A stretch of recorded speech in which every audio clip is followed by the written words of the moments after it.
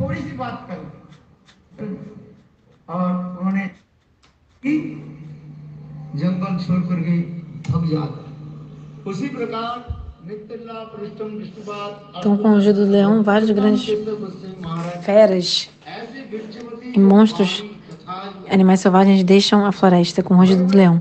Então, Shlabhakti Pragyaneka Keshava Goswami Maharaj, Harikata dele era tão incrível e forte, poderoso, que ele derrotava grandes panditas, pessoas versadas, Vedantas, Vedantics, Vedantics. Ele, depois que ele recebeu esse nome de Acharya como leão, Acharya Simha.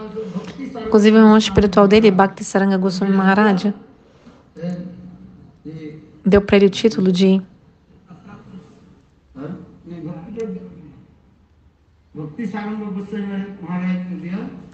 Bhakti Saranga deu para ele o título de Pashanda Gajaika Simha. Então, os Pachandis são comparados com o quê? Com os elefantes, Pachandis, ateístas, etc. Pessoas. E, o, e ele é comparado com um leão. Da mesma forma que um leão consegue acabar até mesmo com um grande elefante. Da mesma forma, Shalabhakti Pragana Keshava é Goswami Maharaj tinha o seu Raikata tão poderoso, repleto de Tata Siddhanta que até mesmo grandes panditas ficavam, tinham medo dele. Sarradia, Sakibekis, várias pessoas eram derrotadas por ele, até mesmo em seus artigos. Se qualquer, falasse, se qualquer pessoa levantasse um dedo contra Prabhupada, ele já respondia contra, defendendo a Prabhupada. Como eu contei de manhã, ele tinha tanta lista no seu mestre espiritual. Se alguém falasse qualquer coisa contra o seu guru, ele fazia até mesmo, por exemplo, é, muitos processos judiciais. Ele respondeu, ele também fez, é, participou de vários processos judiciais, inclusive grandes advogados às vezes vinham se aconselhar com ele sobre como, como responder a certos processos.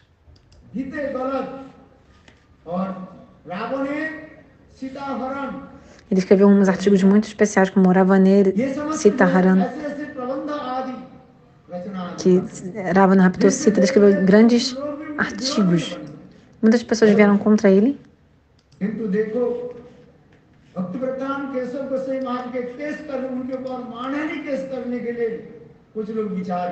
Então, algumas pessoas estavam querendo fazer um caso, um processo judicial contra ele.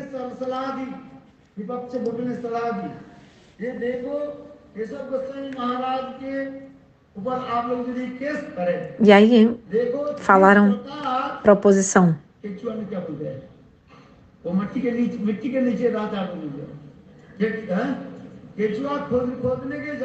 Tipo assim, se você tenta cavar a terra para achar uma tartaruga, você vai acabar achando uma cobra.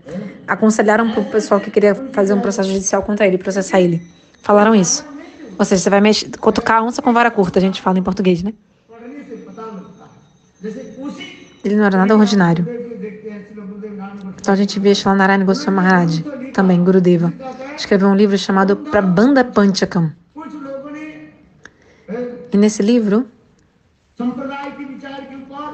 Gurudeva falou diretamente o nome de pessoas que estavam falando coisas contra a nossa Sampradaya. A Gurudeva escreveu artigos, ele não poupou ninguém. Ele falou de todo mundo ali realmente que estava falando né, coisas contrárias. É, então ele estabeleceu a especialidade dessa nossa Sampradaya. E também Shlabakti Pragyanakeshava Maharaj estabeleceu deidades muito lindas e escreveu também, por exemplo, Mangalarati, a música do Mangalarati, que é a essência do Krishna Bhavanamrita e do, do Govinda Lilamrita. Mangala Shiguru Goura Mangala Murati.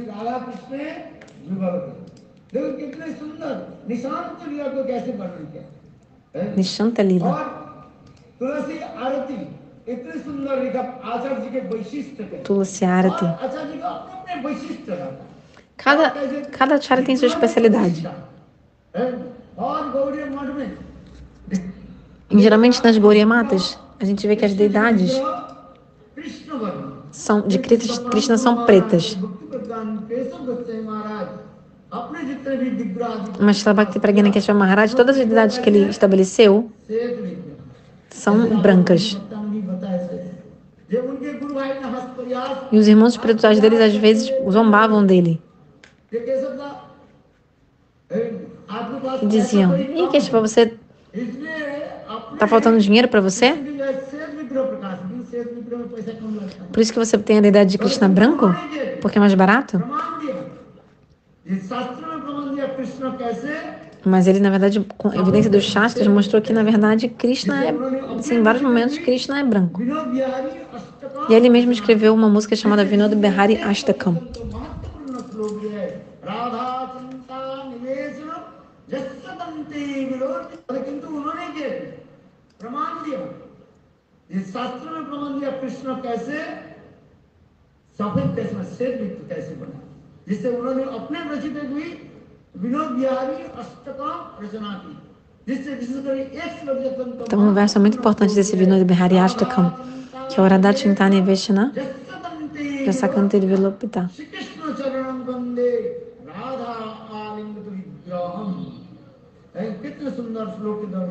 Que lindo esse verso. Krishna em separação de Shmateradika. Fica branco, sentindo. Que nem a gente está aqui no Imilitala. Nesse local aqui, Krishna porque pensou muito em Shmatrádica, ficou muito absorto em Shmatrádica. A cor de Krishna negra ficou branca.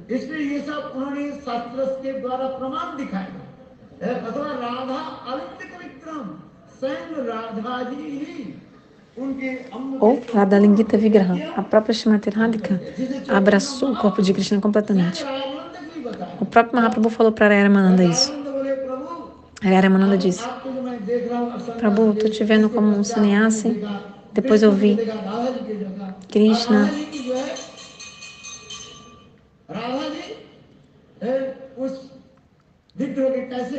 Depois eu vi como que Shrimati está do seu lado, te cobrindo. Aí foi onde Mahaprabhu mostrou para ela é a forma de Rasarad Mahabhava Swarupa estar emanando dessa forma que você está vendo não é de fato a minha forma. Shima Tiratka está cobrindo meu corpo. Mahaprabhu disse para Aramananda. Shima Tiratka não toca em ninguém além de Krishna.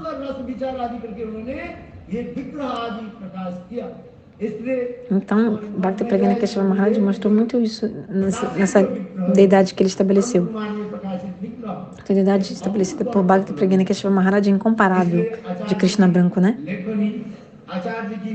Então, suas concepções, seu, seu, seu, seu trabalho literário, seu Shastra Siddhanta é sem precedentes. Não quero levar muito tempo, tomar muito tempo.